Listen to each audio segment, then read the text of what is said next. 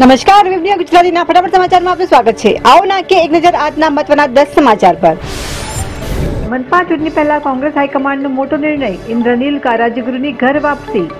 કોરોનાના કાળ વચ્ચે રાજકોટથી એક મોટા સમાચાર આવ્યા છે. રાજકોટ મનપા ચૂંટણી પહેલા રાજકોટના પૂર્વ ધારાસભ્ય અને પૂર્વ શહેર કોંગ્રેસ પ્રમુખ આવતીકાલે ફરી કોંગ્રેસમાં જોડાશે એવી માહિતી મળી છે. માહિતી મુજબ ઇન્દ્રનીલ રાજ્યગુરુ ફરી કોંગ્રેસમાં જોડાશે. અમદાવાદમાં પોલીસ કર્મચારીઓના ત્રણ દિવસમાં સાત હજાર પાંચસો ટેસ્ટ કરાયા. એકાવનનો કોરોના રિપોર્ટ પોઝિટિવ આવ્યો. કોરોના વાયરસનો કહેર અથાવત છે. ત્યારે અમદાવાદમાં દરેક પોલીસ સ્ટેશનના પોલીસ કર્મચારીઓના ત્રણ દિવસથી સાત હજાર પાંચસો કોરોના ટેસ્ટ રજૂ કરવામાં આવ્યા છે. જેમાંથી અત્યાર સુધી કરેલા ટેસ્ટમાંથી એકાવન પોલીસ કર્મચારીઓનો કોરોના રિપોર્ટ પોઝિટિવ આવ્યો છે. જેને સારવાર માટે હોસ્પિટલમાં તો કેટલાકને ક્વોરન્ટીન પણ કરવામાં આવ્યા છે. સી પાટીલની હાકલ. આગામી વિધાનસભાની તમામ બેઠકો જીતીશું. પક્ષમાં જૂથવાતે નહીં ચલાવી લેવાય.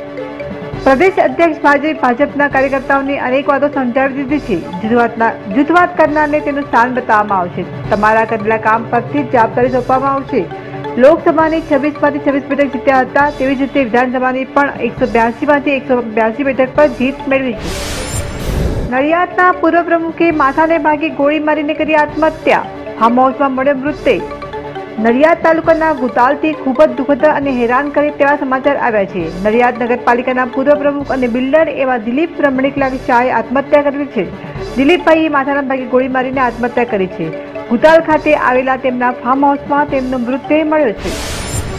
ગુજરાત ઉચ્ચતર માધ્યમિક શિક્ષણ બોર્ડનો મહત્વપૂર્ણ નિર્ણય ધોરણ દસ અને બારના વિદ્યાર્થીઓના ઘરે આવશે માર્કશીટ. ગુજરાત ઉચ્ચતર માધ્યમિક શિક્ષણ બોર્ડે વિદ્યાર્થીઓના હિતમાં એક મોટો નિર્ણય લીધો છે. હવે ધોરણ દસ અને બારના વિદ્યાર્થીઓને માર્કશીટ સ્પીડ પોસ્ટથી મોકલવાનો નિર્ણય બોર્ડ દ્વારા લેવામાં આવ્યો છે. પરંતુ તે માટે વિદ્યાર્થીઓએ બોર્ડની વેબસાઇટ પર જઈને આ બે વસ્તુ માટે ઓનલાઈન અરજી કરવી પડશે. સમગ્ર દેશમાં સુરત બન્યું બીજા નંબરનું સ્વચ્છ શહેર. કેન્દ્ર સરકારના શહેરી વિકાસ વિભાગ અને શહેરી આવાસ વિભાગ દ્વારા સ્વચ્છતા સર્વેક્ષણના જાહેર કરેલા પરિણામમાં સુરત શહેર સમગ્ર દેશમાં બીજા ક્રમાંક રહ્યું છે. દેશના પ્રથમ ક્રમાંકે મધ્યપ્રદેશનું ઇન્દોર અને ત્રીજા ક્રમાંકે નવી મુંબઈ આવ્યું છે. કેન્દ્રીય પ્રધાન હરદીપ પુરીએ સુરતના રહીશોને સ્વચ્છતા જાળવી રાખવા માટે અભિનંદન પાઠવ્યા છે. સૌરાષ્ટ્ર યુનિવર્સિટી તરફથી શિક્ષિત બેરોજગાર માટે આવ્યા ખુશીના સમાચાર. શિક્ષિત બેરોજગાર યુવકોને સૌરાષ્ટ્ર યુનિવર્સિટી દ્વારા પ્રાઇવેટ સેક્ટરમાં નોકરી અપાવવા માટે મેગા જોબ ફેરનું આયોજન કરવામાં આવ્યું છે. સૌરાષ્ટ્ર યુનિવર્સિટીના વિદ્યાર્થીઓને પોતાના અભ્યાસ પૂર્ણ થયા બાદ નોકરી શોધવી નહીં પડે.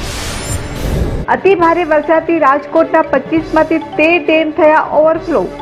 રાજકોટના પચીસમાંથી તેર ડેમ ઓવરફ્લો થયા હોવાની માહિતી મળી છે.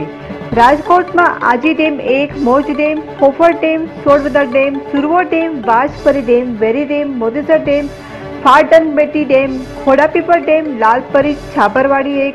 છાપરવાડી ડેમમાં અતિ ભારે વરસાદથી સો ટકા પાણીનો જથ્થો સંગ્રહિત થયો છે. દક્ષિણ ગુજરાતનો વરસાદ હવે બન્યો આફત. ડાંગરના પાકને થયું નુકસાન. દક્ષિણ ગુજરાતમાં છેલ્લા દસ દિવસથી અવિરત વરસાદ વરસી રહ્યો છે, જેના કારણે ખેતરોમાં ચારે બાજુ પાણી જ પાણી દેખાઈ રહ્યું છે. ચાલુ વર્ષે રાજ્યમાં પાંચસો કરોડના ડાંગરની વાવણી કરવામાં આવી છે. મોટાભાગના ખેતરોમાં વરસાદી પાણી ભરાઈ રહેવાને કારણે ડાંગરનો પાક બગડી રહ્યો છે. ડાંગરના પાકને અંદાજિત સો કરોડના રૂપિયાના નુકસાનની ભીતિ સેવાઈ રહી છે. બીજેપીના નેતાની હત્યાના ષડયંત્રમાં ઝડપાયેલા શાર્પ શૂટર ઇમરાન શેખને કોરોના. ભાજપના નેતાની હત્યા કરવા અમદાવાદ આવેલા શાર્પ શૂટરને ગઈકાલે ગુજરાત એટીએસની ટીમે પકડી લીધો હતો.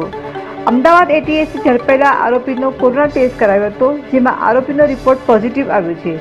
હાલ શાર્પ શૂટરને ક્વોરન્ટાઇન કરવામાં આવશે અને તેના રિકવર થયા બાદ તેની ધરપકડ કરવામાં આવશે. ફટાફટ સમાચારમાં આજે આટલું જ. દેશ વિદેશના અન્ય સમાચાર માટે આપ લોગિન કરો અમારી વેબસાઇટ વેબના ગુજરાતી પર. અને આવતીકાલે ફરી મળીશું તાજા સમાચાર સાથે.